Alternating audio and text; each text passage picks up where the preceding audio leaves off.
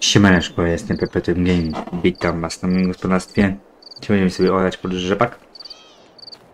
E, a na widzicie moim prawym górnym rogu, rogu nastawiliśmy 24 tysiące złotych. Za co? A to, że sprzedałem owiec. Sprzedałem owiec za 1300 z, y, za tonę.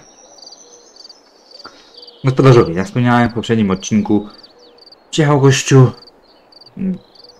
i, i tak to powiem, zaproponował mi współpracę, że ja zboża i sprzedaję do różnych skupów, do różnych tutaj właśnie hodowców, którzy no niezbyt dobrze płacą. Gościu potrzebował dużo zboża, bo potrzebuje dużo zboża, no bo sieje aby wyłącznie kukurydzę i ma łąki. No i tego zboża u siebie w rejonie nie może kupić, a on mieszka 46 albo 48 km ode mnie. No i się dogadaliśmy, że każde moje zboże, które mamy, on tak 100-150 zł więcej dokłada, z transportem oczywiście, bo transport był w moim zakresie, e, właśnie dokłada do tony i takim sposobem mamy teraz 24 tysiące za e, więcej na koncie, więc mamy ładny sam do konta, więc możemy lecieć. Chociaż ja jeszcze mogę wam po powiedzieć, bo dostałem propozycję. Otóż tej pięknej dzierżawy jest to ponad 3,5 hektara w kawale, czyli przeliczając farmingowo to jest około 14 hektarów, ponad 14 hektarów e, właśnie tutaj w kawale. Mm, no i powiem szczerze, koci mnie to. Ale wtedy byśmy to mieli, no to byśmy wszystko mieli w jednym pięknym połaciu można na ten moment powiedzieć. Yy, powiem szczerze, koci mnie i właśnie tu bierzemy. Z tego względu, że to chłopaków z, można powiedzieć, PGR-ów, oni tam gdzieś dojęli tutaj dalej, tutaj, tutaj im się nie opłaca dojeżdżać. Nie wiem, nie wnikam to, po prostu pytajcie, czy nie chcę to dzierżawy. Dla mnie jak najbardziej jest to jak najbardziej fajne, bo ja mam aktualnie tylko dwie dzierżawy, więc ja sobie mogę to pozwolić. Tylko teraz muszę zobaczyć, które to jest pole, żeby mi teraz lipy nie odwalił. Chociaż 3,40 to powinniśmy chyba to znaleźć gdzieś tutaj. 151, 151 to nie. Yy, więc trzeba sobie jeszcze poradzić sobie w ten sposób. Wiecie, nie chcę teraz odjebać lipy. Yy, 154, ID 154, dobra, 154. Co mam tu na odcinku, żeby później jaj nie było. To jest te. No i co? W leasing. Mierzymy w leasing, mamy kolejne pole. W tym, wiadomo, wapno potrzebuje tego, no ale ee, no dość fajnie. No widzicie, was 4300 poszło mi na właśnie powiedzieć w skup, kupienie, więc wrócił mi się chociaż ten owiec. Mamy początkowy stan, można powiedzieć. Dobra, nie przedłużam. Lecimy teraz tutaj z robotą. A, co jest? Ej kurwa, raz mi się zamkną te drzwi, raz mi się nie, nie chcą zamknąć, nie wiem. Coś tutaj się pobogowało? Co no, guziba, nie wiem. Coś się dzieje, po prostu muszę zobaczyć. Mamy na głębokość 27 cm pod rzepak, bo to nie było jeszcze dawno ruszane. Mm to było robione bez około, to teraz o, fajnie wchodziłem się tutaj e, krzaczki. Było bez około, więc teraz trzeba trochę to ładnie przerobić. No, mam na GPS-ie, bo ten pług jest dość lekki, lekki. E, no nie wyjęła tego ciągnika, tak, wozdy i nic, więc mogę sobie na GPS-ie na legalu sobie jeździć. Na żadnych tutaj problemu. Teksturki sobie zmieniałem, jak widzicie jakieś nowsze. Zobaczymy, czy to... No, ale moment. Ładnie się prezentują, nie ma co. Mnie to bardzo się podoba. Teksturki. A to na tym na, tej ziemi zobaczymy, co będziemy siać. Yy, tego nie wiem. Czy nie myślałem. No bo dobra, to wzięliśmy, tak? No ale jest też na kawał, kawał pola, no mimo wszystko czekajcie, ja sobie tylko muszę wziąć chyba na 2 i 1 ustawić GPS-a. I zobaczymy, no.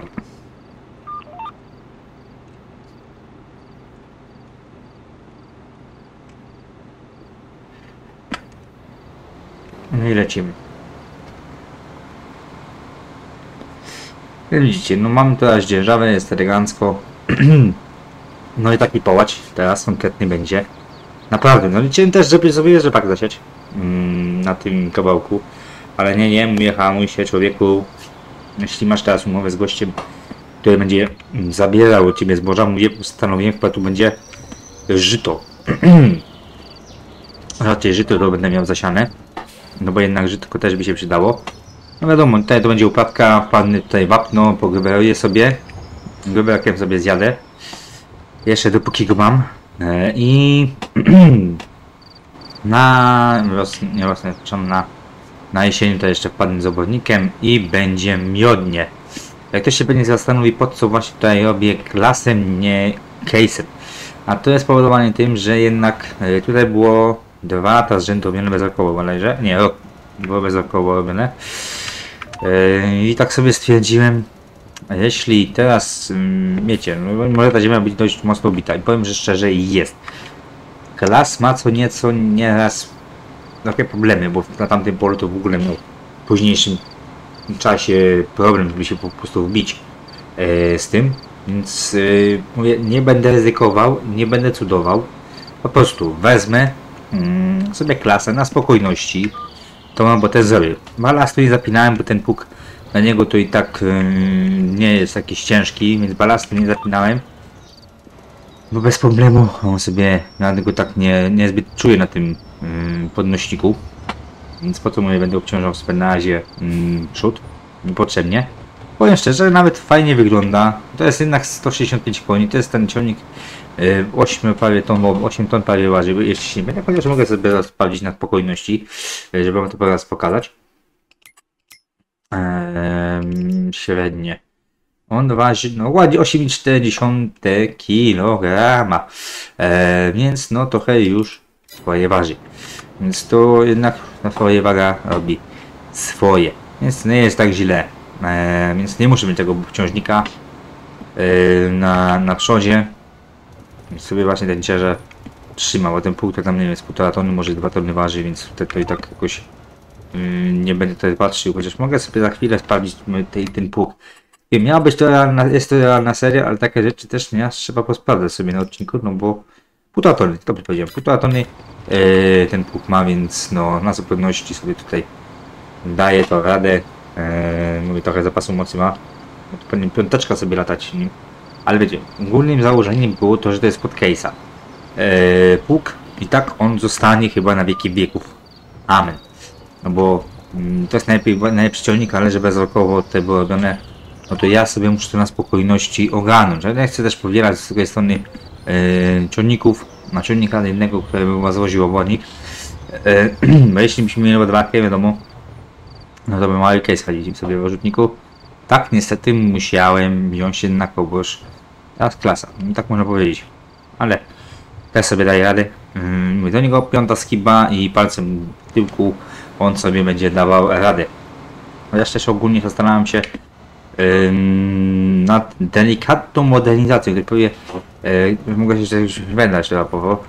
Feda nie chciałem, bo Fendy właśnie był w transporcie, dopiero przyjechał, no i coś tam się właśnie mu tam podziało, płyn mu wywaliło od wspomagania, e, znaczy wąż yy, strzelił od wspomagania i na razie tego czasu nie mam, żeby to zrobić będzie kobieta cała z dopłynie po dziedzie i właśnie miała wziąć mi to kupić, więc ja żeby nie dać czasem to wolę ten raczej bo nie mam tego czasu zbytnio, żeby to się po prostu skumulowało e, w późniejszym czasie te terminy, bo tak to już jest troszeczkę późno, bo to już 15 sierpnia, e, 15, 17 sierpnia, przepraszam, e, i mm, mam jakiś niespełna tydzień do tego, żeby właśnie zacząć szczepak, więc to musi przygotować tak mądrze się tak uprawki, E, bo muszę tutaj sobie uprawić jeszcze po tym agregatem, dopiero później wpaść z wolną aktywną siewnikiem, no bo tutaj taka lekko zwylona ta ziemia, troszeczkę lekka glinka tutaj, mm, no i muszę po prostu to, to rozbić. Więc na spokojnie trzeba to ogarnąć, nie tak na, na to, żeby po prostu szastać tym wszystkim. Eee, mimo tego, że agregaty i brony talerzowe i wszystko mam, ale wiecie, tego czasu mówię, nie chcę marnować tego obwodnika, teraz pozwoliliśmy też chwilę czasu schodziło nam tym obwodnikiem. teraz tak, orki, e, uprawka, jeszcze z sierm, kurna, tego jest tyle, że ja nie wiem co więcej włożyć. Tylko niestety teraz tak się działo, że będzie powielane będą akcje na dwóch polach tylko, tak? E, no bo tu będzie rzepak i tam będzie rzepak, było z jednego pola zrezygnowałem rzepaku, mm, bo mi się zdaje, że i tak wystarczy tutaj, bo to będzie, jak się nie mylę, z ponad 3 hektary rzepaku, więc w zupełności mi to wystarczy na ten moment yy, rzepaku też nie chcę mówię szastać, bo po co mam to robić, jeśli mówię, mam tutaj badane z gościem o mnożcie zbożem, no bo jak wspomniałem w poprzednim odcinku, yy, gościu chce żyto, żyto, pszenicę, jęczmień, owiec. To są takie cztery uprawy, które on by chciał właśnie yy, mieć, bo on właśnie taką mieszalnię sobie ma. Swoją, nie tam, że jakieś gigantyczną, ale taką mieszalnię, chyba dwutonówkę, czy dwutonową, ze świetownikiem sąco tworzącym. I po prostu sobie kupuje takie zboże, no bo mm, wiecie, może trzeba sobie radzić, nie każdy tak robi. Ja dużo znam takich chłopaków, którzy, znaczy może nie bezpośrednio znam, ale znam takiego, można powiedzieć, z widzenia mm, chłopaka, którzy, którego właśnie tak robi, że po prostu sieje kukurydzę, trawy, mm, ma tylko i zboża kupuje, tak? Więc tutaj tak samo ten gość robi. No ja jestem odmiennego zdania, ja z kolei kupuję gotowe parze. Ma to tylko zależność tego, kto woli. Ja ogólnie zboża miałem chyba dobre, no bo e, jednakowoż przecież e, na skupach przecież przyjmują, tak? A te, jeśli bardziej go ślichsze zboże będzie, a będzie jeszcze ten obiec, e, właśnie, mm, no to e, tam się lekko opuści tą, tą teoretycznie stówkę i to samo wyjdzie, tak? Bo tam zachwaszczony jeszcze owiec mam, chociaż tamten to nie wiem, czy w ogóle będzie szedł sprzedania, czy w ogóle nie wezmę, nie zostawię sobie go do pieca. Nie powiem, nie ukrywam. Yy, nie zostawić sobie go do. Nie powakować sobie i po prostu kupić trochę sobie pelet, nie pelety, tylko. Yy, jak to się nazywa? Kurwa. Na kogroczku. Yy, I to będzie zostawić do palenia, bo jednak musimy uprawiać dwie chałupy. Yy, bo jednak yy, tamta chałupa też jeszcze jest czynna w pewnym sensie, tak? Bo dopóki tam pracownicy, pracowników nie mam, e, to ona też jeszcze normalnie jest użytkowa, bo tam ja sobie, można powiedzieć, w pewnym sensie ciuchy e, robocze zostawiam, ja sobie tam się ogarnię, dopiero przychodzę do chałupy, tak, e, tam sobie kawkę piję, wszystko mm, na, na, na eleganckości, e, bo nowej chałupy tam tylko, można powiedzieć, w pewnym sensie tylko śpię i święta spędzam, taką, można powiedzieć, w cudzysłowie. A tak to wiecie. Eee, Shadow w tym starej chałupy tak eee, jest na razie robione. Siedzę, siedzę i się zrobić. Po co tam się siedzi mm, w czasie robót.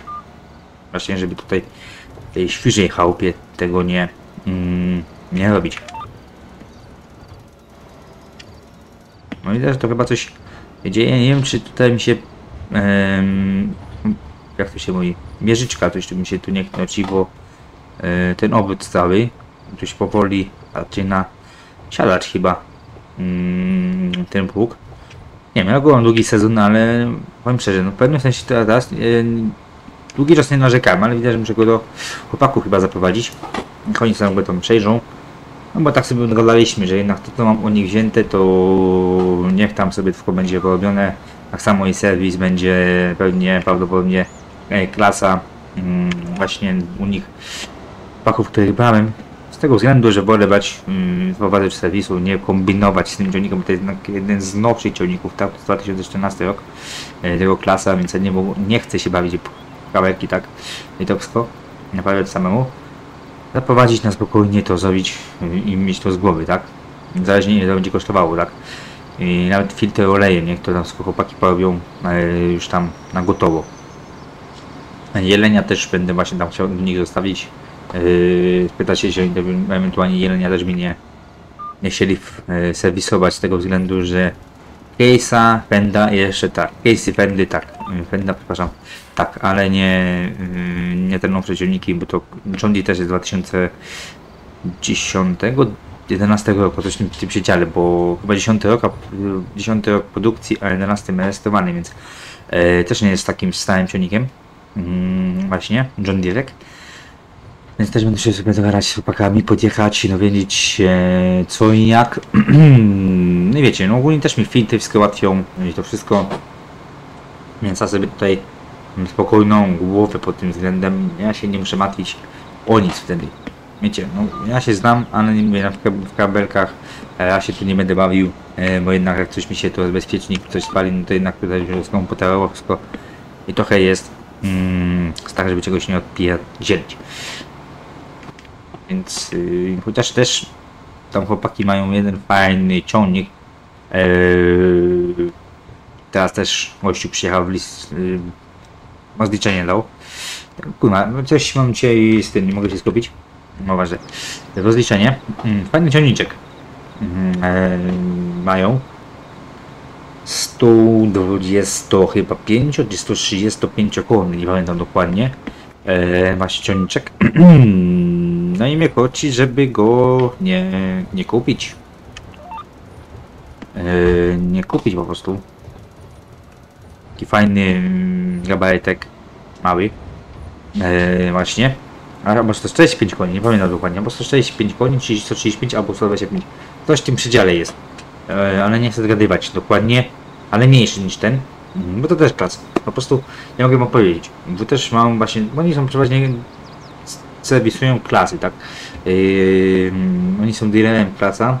Tam jakieś tam pojedynczych ciągników, w zależności kto, kto sobie tam życi przez nich, tak? Bo to nie jest powiedziane, że jeśli ktoś zamówi organizatora, no to organizatora też nie mają. Tylko po prostu właśnie oni są skupieni na klasie, tak? To jest naprawdę wysoką półką, aby nie było. Mm, mimo wszystko. i już takiego fajnego klaska mają. Yy, klasa. Stałem osprzętem, znaczy z y, osprzętem, yy, osprzętem, stulem, stu, stuzem i wałkiem WOM. To jest w ogóle też no fajnie. Yy, fajne pieniądze, ale 200 chyba tysięcy będą chcieli, 200 nie chcę teraz zgadywać. Yy, czy 200 70, 60. Eee, chyba coś takiego. No wiadomo, mm, ja już miałbym miał co do czego, to sprzedaję pęda. Eee, I pewnie tak to zrobimy, że tam pewnie pójdzie odliczenie pęd. Eee, I będzie git. Bo za pęda przyjechali powiedzieli, że mogą mi dać tą 160 w tym momencie, z tym wyposażeniem, co jest e, właśnie ten ym, właśnie pęd. Y, To 160 tysięcy, no wiadomo, ja do niego dużo troszeczkę więcej dam, ale mogę sobie po prostu na to pozwolić i troszeczkę dać mniejszy ciągnik, ale w sumie trz- 15 koni różnicy, gdyby nawet 5 koni różnicy, to już mi nie zrobi aż tych, takiego przeskoku, więc mogę takie coś zrobić. Eee, no i co, pół roku może mieć ciągnik yy, pęda. Eee, ale że tak już to praktycznie można powiedzieć minęło, to po prostu ja sobie to po prostu wymienię, tak? W taki zamiar właśnie. Bo chciałem coś zmode- modernizować, coś nowego, to właśnie te klasy fajnie mi siedzą, nie powiem, strasznie mi się podobają. Po tym kupnie tego klasa, no jest w ogóle już cud tej orzeszki. Tamten niestety, niestety, niestety, no nie ma tej nawigacji, nawigacja by wtedy klasa skakała chyba 50 tysięcy. Więc yy, pewnie na ten moment byśmy nie mieli nawigacji, chociaż nie wiem, możemy po. Yy, tak to powiem, a fajnie. Chyba ten teren taki niepełny, żeśmy to pogadali. Fajne to kurwa na ogarnianie tego wszystkiego. Niestety.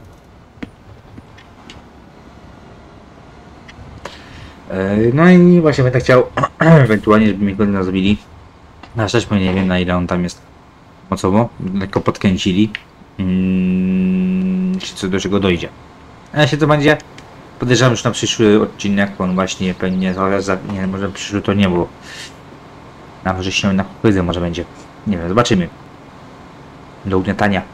No bo chciałbym trochę zmodernizować. Na pewno chciałbym pęda sprzedać tego małego case'a.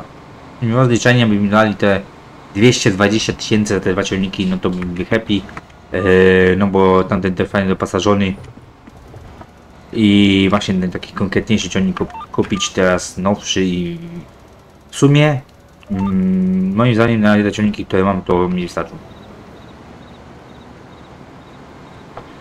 Raz, case mały to już taki jest wyrąbany yy, w tym wszystkim, bo ten, który dostał, no to jest troszeczkę po dostał, więc trzeba trochę to yy, wykombinować.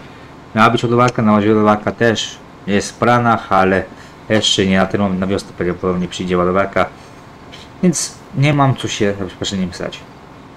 Więc wolę sobie jeszcze kupić czy komfortowszy ciągnik z tutura niż yy, bawić się z tym wszystkim, chociaż nie wiem jaki tam dokładnie jest ten model tego 100-500 czy 400, tego nie wiem dokładnie tego hmm, prosika. Na pewno wiem, że ten case, którego mam, tego 5140, na pewno wiem, że go nie sprzedam, bo on jest tak kurwa topornym ciągnikiem, że on chyba zostanie na wieki wieku na tej gospodarce. On mi się tak strasznie podoba i mówię, on chyba nie zostanie nigdy sprzedany. Takie jest moje założenie mm, formalne co do yy.